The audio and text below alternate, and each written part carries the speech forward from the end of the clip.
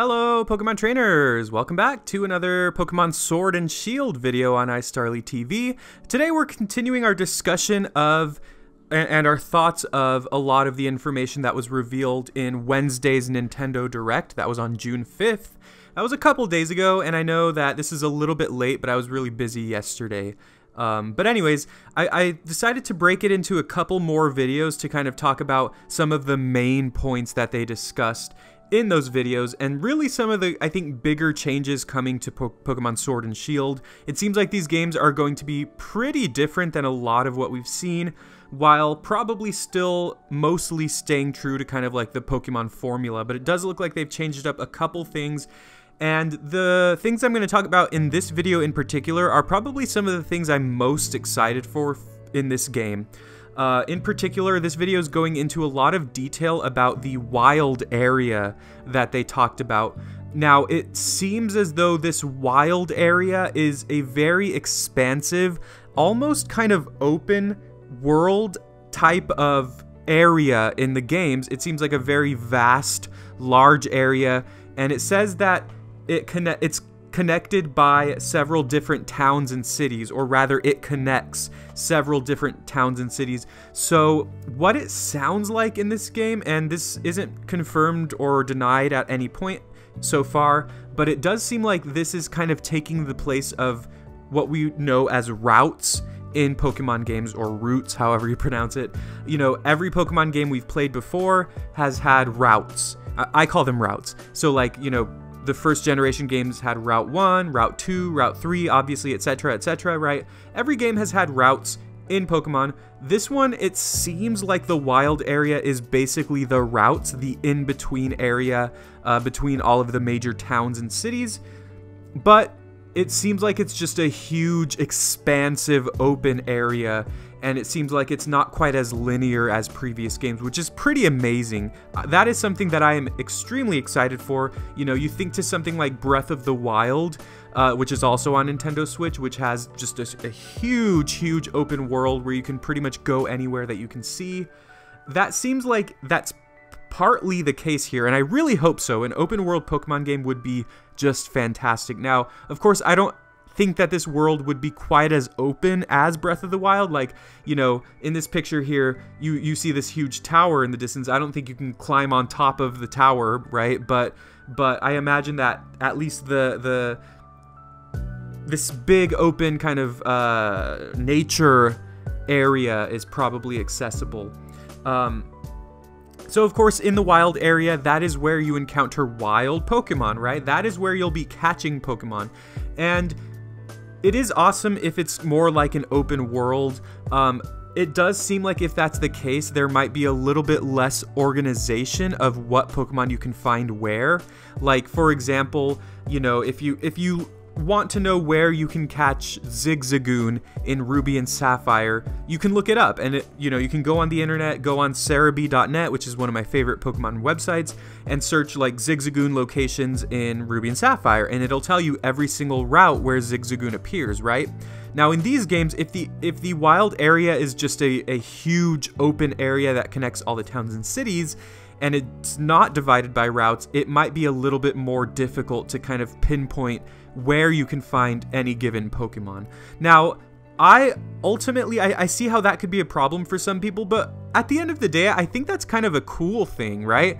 One of the big selling points for the wild area that they talked about in their Nintendo or in their Pokemon Direct was that the Pokemon that you can encounter in the wild area will change depending on the time of day, depending on the weather, and depending on the location of the wild area. So obviously, you know, there's going to be more grassy or more hilly areas, and certain Pokemon that are more accustomed to those environments will be uh, appearing there, whereas the more uh, you know, water areas and, and the colder areas will also probably have different Pokemon, right? So that's cool too. And, and maybe it depends on like, okay, maybe you're just roaming around the game and you're like, oh, it's raining now. So I want to go to the wild area because I want to find like a, a Wooper or something or a or a Lanturn or something like that. Like I really want a specific Pokemon that only appears when it rains. And I think that that could be in some ways, yes, maybe more frustrating because, you know, maybe you if you're looking for one specific Pokemon and you it's hard to find it, you know, of course that could be frustrating, but at the same time I think that could add a level of like discovery and mystery to the games because you're thinking, okay, oh, look, it's raining now. I want to see what Pokemon I can catch while it's raining. So I'm going to go out and you'll encounter a wild Pokemon. Maybe you'll encounter a Pokemon that you've never even heard of before. Or maybe you'll catch a Pokemon from one of the older games that you really, really like, but that you just didn't know you could catch in Sword and Shield, right? So I think that there's a lot of potential for the wild area to be something really unique in, in a Pokemon game and actually really awesome as well. Now, something else that they also mentioned is that and, and this is another huge one that really contributes to kind of the open world nature of the wild area, which is that you can control the camera. So you can actually have full control of the camera while your character is moving about the wild area. I'm not sure they 100% confirmed this, but they did say that you have control of the camera when you're in the wild area. So it seems like you only have control of the camera when you're in the wild area and when you're in actual towns and cities, uh, you might not have full control of the camera, but that's fine. I'm perfectly fine with that. Having a fully controlled camera, even in the wild area alone, again because it looks so open, that just sounds amazing to me. I, I'm I just can't stress how excited I am for these games. They did say that you can use the camera to kind of search for Pokemon and items in the wild area. So of course we know that Pokemon can change depending on the time and the weather and all that. So I wonder if items can also change. Like maybe if you're in one specific location in the wild area and you're looking around, maybe you notice there's a Pokeball right there or like an Ultra Ball or something or a rare Pokeball like a like a fast ball, I don't know. Um, and then maybe later on in your journey, you go back to that same area and maybe there's a different item there, or maybe there's no more items there, and, and you find a different item in another location that wasn't there before, right? So just there's so much potential for like a lot of random uh, generated objects, Pokemon, and items and stuff. And I think, again, that that just seems awesome in a Pokemon game. Just that sense of discovery, that sense of replayability, always being able to go back to a, any given location and finding something you never saw before, you know, finding something new. That's obviously one of the biggest uh, selling points of Pokemon in general. So the next big thing I wanted to talk about that has to do with the wild area and capturing Pokemon is that it actually seems like random encounters might have been done away with here. They have said, this is from the actual Pokemon website, that uh, battles with Pokemon, with wild Pokemon, occur when you run into Pokemon that you can see wandering around. So obviously in the trailer, we saw a lot of shots of really cool looking things where you could see wild Pokemon just wandering around. Like you saw Rhydon you know, trudging through the desert. You saw little hippo hippopotas uh, trudging through the grass. You know, you saw Milotic in the water and stuff like that. And it seems like those are actually encounterable Pokemon. And so you'll see Pokemon in the open area and you'll be able to approach them and, and engage in a battle with that Pokemon, which is amazing. Now, of course, that's very similar to how things were in Pokemon Let's Go Pikachu and Eevee, which I actually ended up liking a lot more than I thought I would. Um, so that just seems great. Just that's just another element that makes these games amazing. Maybe you'll be roaming about the wild uh, area, looking with your camera to find something new, and you'll see a rare Pokemon in the distance, and you can just you know maybe try to sneak up on it, or maybe just run right at it, whatever helps. They did also say that some Pokemon will pursue you in the wild, while others will actually run away from you. So if it's more of like a timid Pokemon, or maybe more of a rare Pokemon, if you start running straight towards it, it might actually try to run away from you. And obviously, that could be a little problem if you're trying to catch a super rare or powerful Pokemon for your team and it escapes, right? So, again, that adds another layer to these games that I think sounds like a lot of fun. And that I mean, that just seems like how Pokemon would be in the real world, right? If Pokemon existed in our world, you'd be able to see them everywhere. And, and if you wanted to catch a Pokemon and you saw it from far away, you could you know run up to it or, or sneak up on it and, and, and engage in a battle with that so I'm, I'm super excited about that now in the trailers they did also show uh, the player running through grass and an exclamation mark appeared now all the website says about this is that the exclamation mark that appears above the tall grass is another indicator of wild pokemon that can battle you. That doesn't explain a lot. So i don't know if they have random encounters and also the open world uh, encounters where you can see Pokemon roaming around, or if the exclamation marks is like I don't I, I don't know. I really maybe it's like a special type of battle like you know in you know uh, what what is it called? In uh, Sun and Moon there were the SOS battles and in sixth gen we had the what was it called? The team battles or you know where five Pokemon appeared at once. I forgot what they're called but maybe it's something like that like maybe they've added a new battle mode for wild Pokemon and maybe that's what the exclamation mark means. Or again maybe it's just maybe there are still some random encounters in addition to the non-random encounters. So let me know your thoughts on that. I'm really interested in hearing what you have to say about that in particular. Um, do you think that the games have 100% non-random encounters or do you think that there's a mix of non-random and random encounters? But once again, it has been effectively confirmed that you can run up to a Pokemon that you see in the wild and battle it. So in that way, you'll know what you're encountering ahead of time. So if you see a bunch of wild Zubats at night, you can try your best to avoid them. Of course, maybe Zubat would be really annoying and follow you. That would be very frustrating because, of course, you know, Zubat, right? But if you really want a Zubat for your team because Crobat is actually awesome, you can you can try to catch it, right? So just knowing what you're getting yourself into with a random or with a battle in general is is something that's really useful for Pokemon. And again, if you're just trying to get through the the wild area, get to your next town to heal your Pokemon or to battle the next gym leader, you can try to just race right through it, right?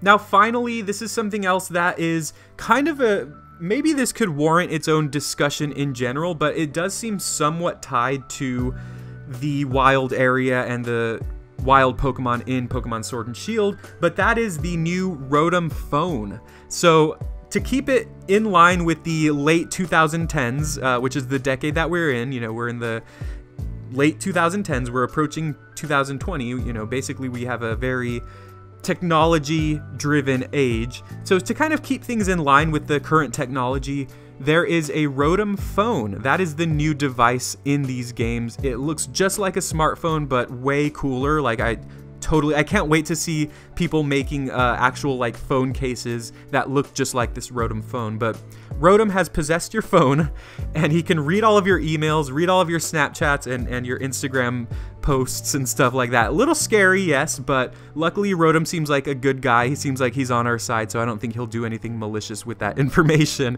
But anyways. Um, it does also say that the Pokédex in this game is part of your Rotom phone. So I'm thinking that your Rotom phone will, will probably have like apps. So it'll probably be like an actual smartphone these days, and there will probably be a few apps in that game. Of course, the Pokédex will be one of them, but maybe there will be some opportunity for a couple other unique apps. Like, you know, in the previous games, we've had the Pokemon Amie, which is where you can pet your Pokemon and stuff like that. So maybe we'll have something along those lines, and maybe we'll have a few other modes, just like Sun and Moon also had a few other modes that you can engage with. Maybe the Rotom app will allow us, or the Rotom phone will allow us to do more via app. So that's also very exciting. They, again, have revealed very, very little information about that. Um, aside from just that this Rotom phone exists and that it has your Pokédex, but again, there's a lot of possibilities there. Finally, to connect all of this, in regards to the Rotom phone, it does say, and there's a picture on the website, the Rotom phone can also attach to your bike, for example, and it can make it move faster. So you can plug the Rotom phone to your into your bike somehow, and that'll make your bike go faster. It also said that it can also the Rotom phone can also help you travel over water. Um, so I think that the Rotom phone will maybe be able to be updated or upgraded throughout the game as you progress and it'll allow you to kind of upgrade your equipment so that you can kind of travel more efficiently or more effectively that's something else that I think is very awesome. Now, you know, we had uh, Corviknight, which is the Raven Pokemon that was revealed last time, that is revealed to be like kind of the the taxi service of the Galar region. So that's kind of how you get around, similar to how we had the Charizard in the the Charizard ride Pokemon in Sun and Moon, where if you wanted to fly to another town, you you use the Charizard ride Pokemon. That's kind of like what Corviknight seems like. It seems like the Rotom phone is kind of like something like that, where it allows you to travel more easily throughout the region, stuff like that. So that's pretty awesome too. I mean, I, am just super excited. Again, they did not give us too much information about this, but I feel like they gave us just enough to really heavily spec- speculate about a lot of this and make predictions accordingly. I think that a lot of what I'm predict- predicting is probably correct, but the bottom line here is that I am super, super excited for these games. These features alone have made me way more excited for the games, even than the Pokemon that they reveal. Now, I like a lot of the new Pokemon that they reveal, don't get me wrong, but that just goes to show how excited that this information has made me. Is that I'm super excited to just play like a somewhat open world Pokemon game with just a lot of features and a huge roster of Pokemon. These games look great. I just cannot wait. I could talk about these games for hours, but I'll go ahead and cut it off right here. Please leave me your thoughts in the comments. I'm really interested in knowing what you all think about what I said, but also about all the information that they revealed about these games. I, I just really would like to know what you all think. So I'm looking forward to reading your comments. Uh, leave one down below. I'll, I'll like a few of them or heart a few of them and reply to some of them that I think are pretty intriguing as far as your theories about the wild area or just general thoughts. Uh, do you disagree with some of the things I've said? Let me know. Either way, please do leave a like as well. It does help us out a lot. And please subscribe for more Pokemon, uh, Pokemon Sword and Shield videos on iStarly TV. We will be making a lot more content coming up because the games are in full swing. Hope you have a good day. I'll see you next time.